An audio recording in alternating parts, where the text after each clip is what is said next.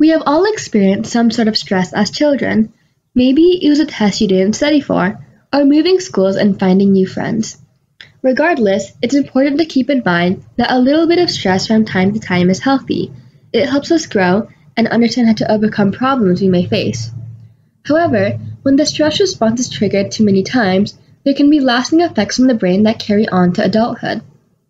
Stress plays a prominent role in the development of a child. The three types of stress include positive stress, tolerable stress, and toxic stress. Positive stress will show as an increase in heart rate and an elevation in stress hormones. It is short lived and is triggered during minor stress experiences, such as taking a shot or being left in a daycare for the first time. However, with supportive adults to help them cope, children will gradually learn how to problem solve and deal with adversity, leading to the development of a healthy stress response system. Tolerable stress can be more serious. Perhaps you've lost a loved one or experienced a natural disaster. These types of situations can have potential for extreme damage on the brain, but with encouraging relationships, it will mend over time. However, things can get serious when the stress response gets triggered too many times. This threat is known as toxic stress. It is strong, frequent, and prolonged for a long period of time. The root of toxic stress can be numerous things, such as abuse, neglect, or violence. This type of stress will physically affect the brain, leaving certain parts rewired and changed.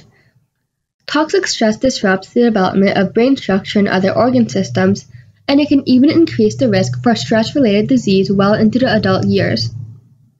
The worse the experience in childhood, the greater the effects will be in adulthood. Toxic stress causes permanent damage on the brain, focusing on the amygdala, prefrontal cortex, and the anterior cingulate cortex, also known as the ACC. The amygdala, also known as the fear center, detects dangerous things in the surrounding area and tells the body to act. But it can become overactivated due to toxic stress. In other words, your amygdala is always telling your body that you are in danger, resulting in chronic stress, where one feels unsafe, fearful, and irritated. Furthermore, victims will often overreact to minor triggers, because trauma sensitizes one's amygdala, meaning that fear responses are triggered by lower levels of stress. The prefrontal cortex, or the thinking center, regulates the stress response system by making things seem less scary than they really are. Outside of stress, it helps regulate our emotion and memory, as well as sensory processing, which allows us to effectively use our body in certain events, such as learning and problem solving. However, Trauma causes the prefrontal cortex to become underactivated. Consequences of a damaged prefrontal cortex include difficulties with concentration, attention, and learning. This is because when we are under stress, cortisol is released from the adrenal glands on our kidneys. Cortisol is a hormone that increases heart rate, blood pressure, respiration, and muscle tension to prepare us to fight or run away, otherwise known as the fight or flight reaction. High levels of cortisol impair one's ability to think rationally or logically. So when our body is always thinking it is in danger, there will be constant high levels of cortisol in our body, affecting our ability to concentrate and learn.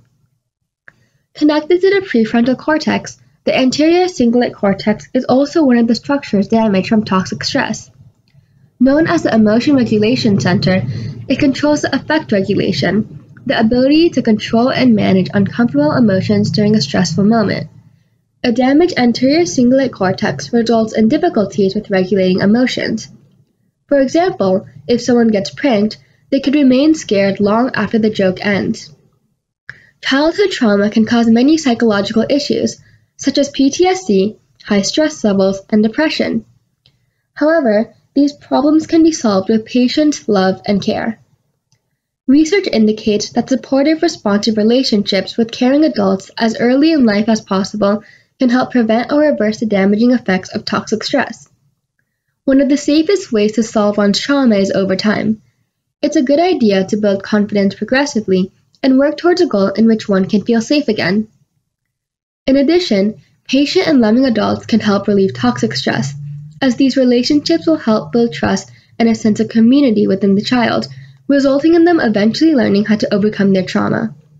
Recovering can be a long and difficult journey, but with enough patience, support, and care, one can finally be free of that burden.